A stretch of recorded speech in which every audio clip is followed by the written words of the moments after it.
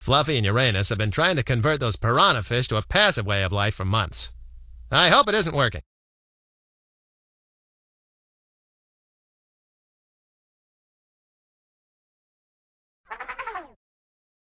That's not fair. Why do Fluffy and Uranus have a telephone and I don't? Maybe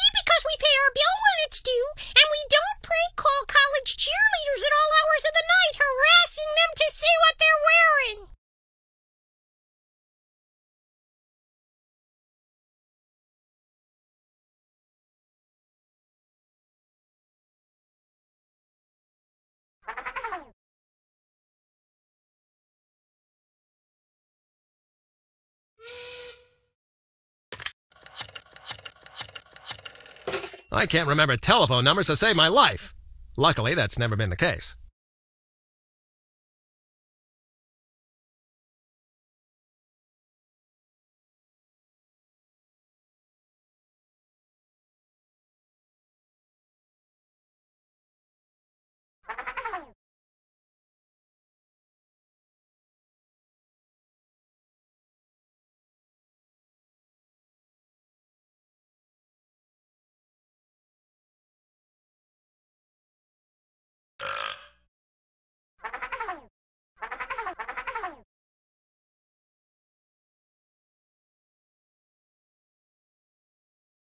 I'll need this to have even the remotest chance at succeeding.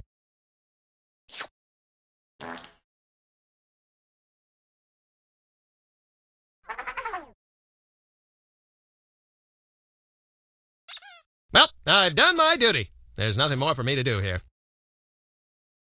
Well, I've done my...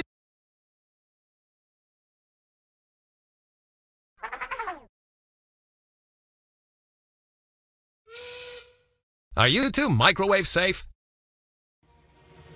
Or will you plump when I cook you?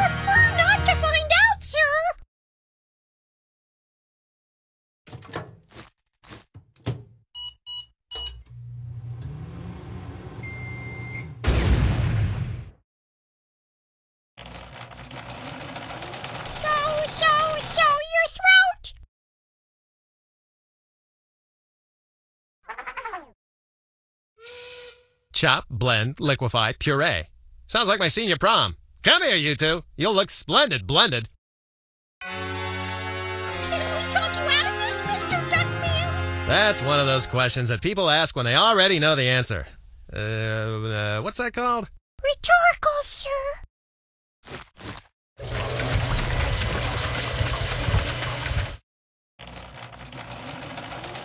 The stuffing,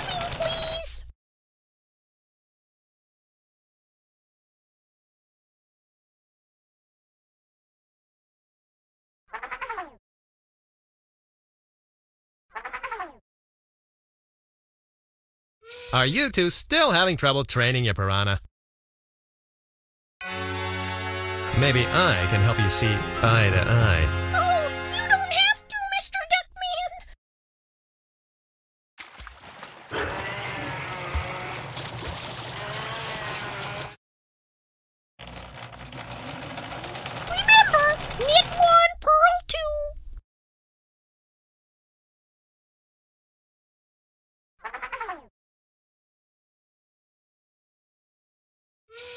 Say, Fluffy and Uranus, look! It's your biggest fan!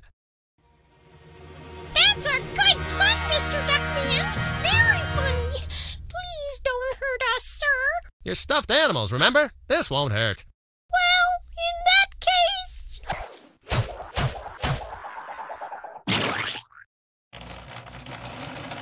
That piece doesn't go there.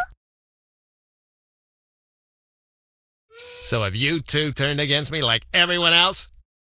Oh, no, Mr. Duckman. We would never desert you. It's not in our character description. That's right. We were phased off the show.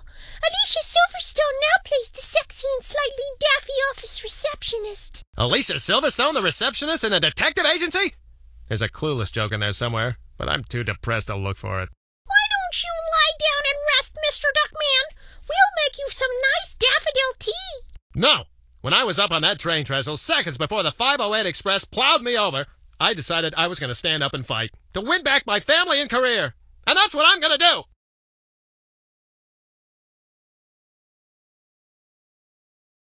I need some fresh air. Air that isn't sugar frosted. I've got to figure out what to do.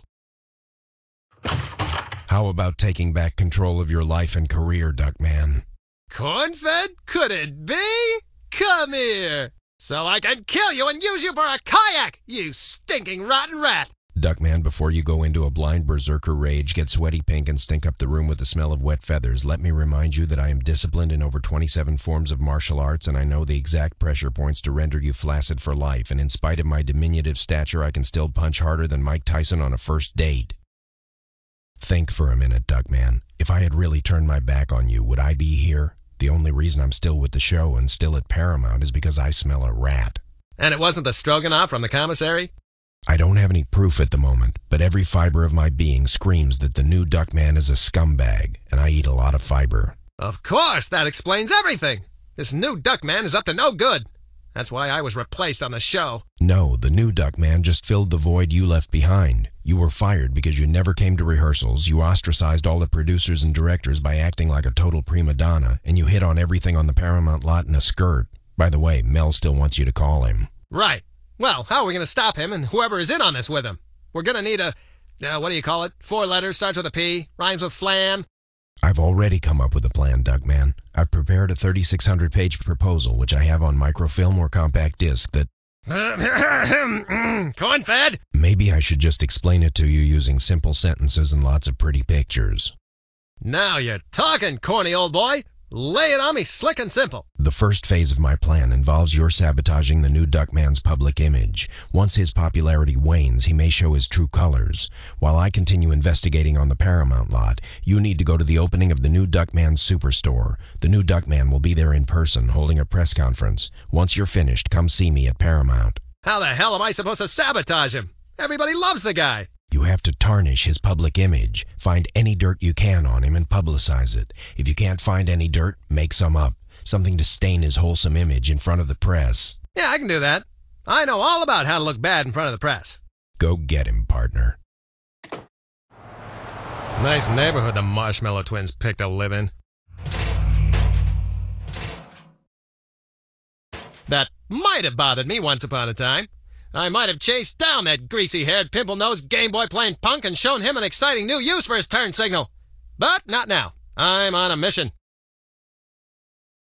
Why, it's the same shape as the glowing ship that used to hover outside my bedroom window and visit me as a child. Perhaps I can use this later in some unforeseen and heretofore unexpected way.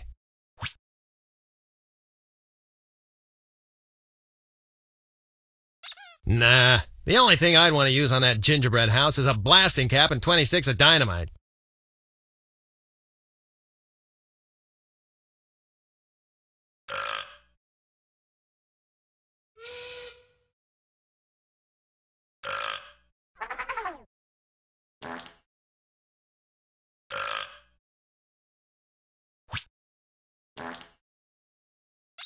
Fluffy and Uranus, those two little festering fuzzballs. They used to work for me at my detective agency.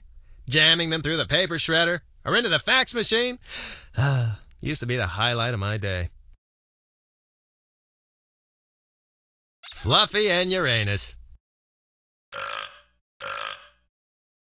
It's a garbage can lid. It's flat, round, and has a 40 inch diameter. Turn ons include gentle sanitation engineers and green hefty bags. Turn offs include maggots and garbage strikes.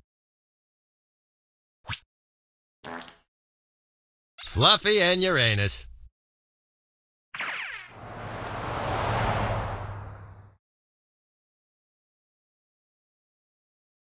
You know, Fluffy and Uranus's house is a candy-coated ray of sunshine in an otherwise bleak and desperate world, where people will gun you down and rip your eyes out so they can sell the retinas at the eye bank.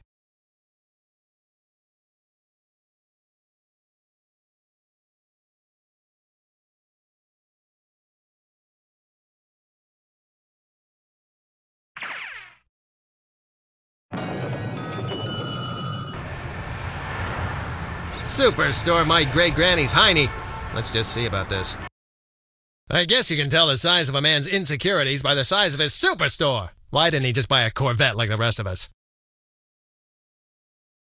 Look at this place! An entire store devoted to selling junk with the new Duckman's ugly face plastered all over it. Why didn't I think of this when I was on top? If I'm gonna publicly humiliate this Joker, this cutout might come in handy.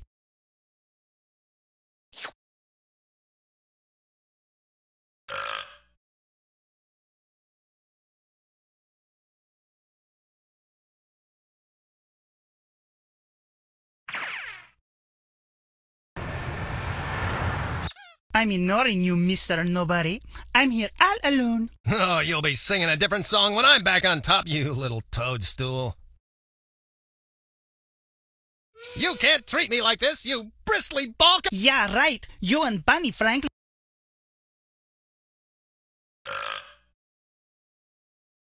It's a cutout of that louse, the new Duckman. Use that with him? I wouldn't touch him with a 10 foot pole! Of course, if I had a 10 foot pole, I could be my own best friend, and I'd get invited to a lot of parties.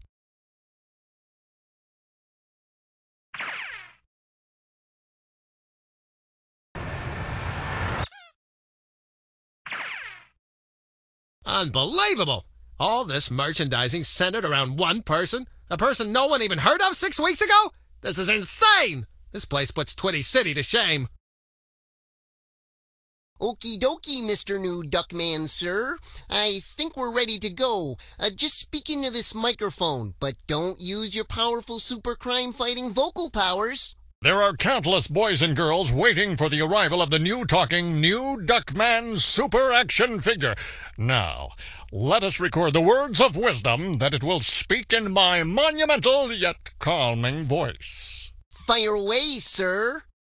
Remember, kids, it's not cool to burn down the school. Very motivating, sir. Let's try another one. Take two. Obey your parents, or I'll hunt you down and crush your windpipe.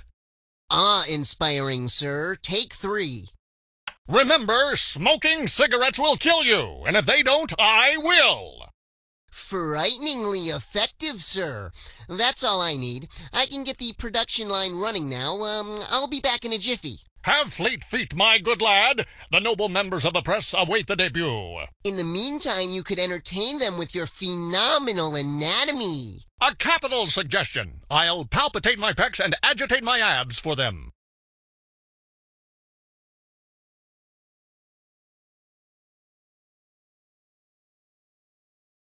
A couple of ace reporters. They're here frothing at the mouth, ready to pounce on a late breaking story. I guess the bar's not open yet. What's the scoop, guys? You know, what's the skinny? Or the fatty? Or the. What the hell's going on here? In honor of the grand opening of this new Duckman Superstore, that paragon of justice and defender of decency, the new Duckman is unveiling his new talking super action figure, which, in addition to reciting a variety of motivational sayings, can sharpen kitchen knives and scissors, tell the correct time in 18 different languages, and uh, helps eliminate foot fungus.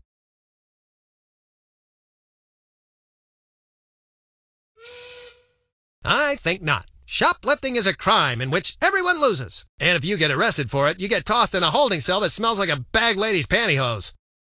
Then you have to beg your sister-in-law to bail you out. And she'll do it only after you let her toss out your treasured collection of Mammary Master magazine. The likeness of that no-talent phony, the new Duckman, on a plethora of plastic garbage. Garbage that should have my face all over it. The likeness of that no tell. The likeness of that. No, no, no. I need to sabotage him, not get flattened by him.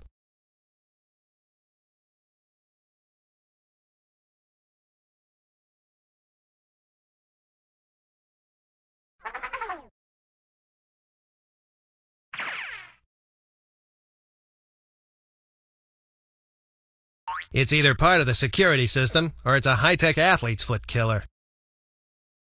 I'm sure all this security is just to keep out the rabble. I used to be a celebrity, though. I used to be somebody. They have to let me in.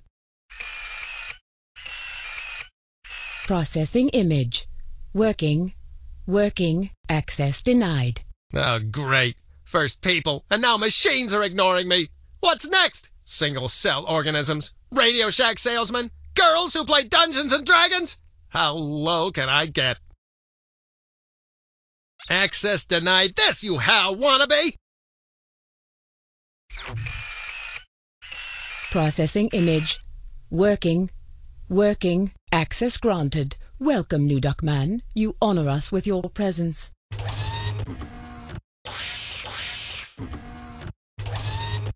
Wowzers! I'm a hungry boy. Mm, but the new Duckman is trusting me to get his new talking action figure done. And he did tell me to have fleet feet. But I'm really, really hungry. Except for that box of chocolate frosted dingle pops, I hardly had any breakfast. The new Duckman will be really mad if I don't get this done. But today in the cafeteria, they're having mystery meatloaf. If you guess the main ingredient, you get extra gravy. I'm not superhuman like him. I need nourishment to do my job. I'll just slip off for a quick snack.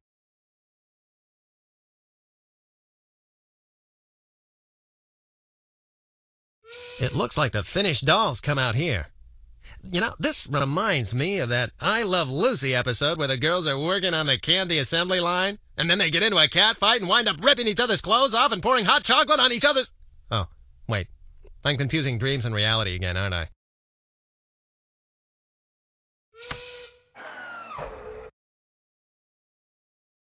Remember, kids, it's not cool to burn down the school. This is the tape recorder Chucky Cheese Pants was using out in the store to record the new Duckman's idiotic messages. I guess it just plugs right in. This is the tape recorder Chucky. Mr. Ton of Fun left this behind. I'm sure I can do some damage with it.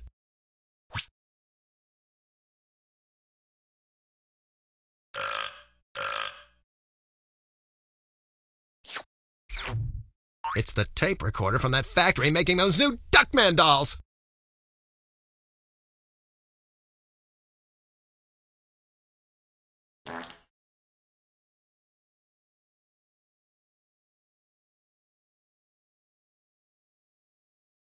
If I were the wagering type, which I am, I'd bet that this button starts up the assembly line. I wonder what's going on up there. I knew it! This is one of those rooms they add just to thicken the plot. Well, you can count me out.